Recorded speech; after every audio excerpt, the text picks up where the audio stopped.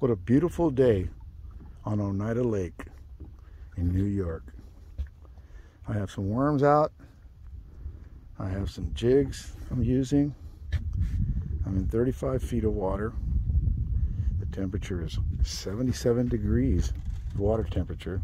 I'm spotting fish all over the place. And it's just gorgeous.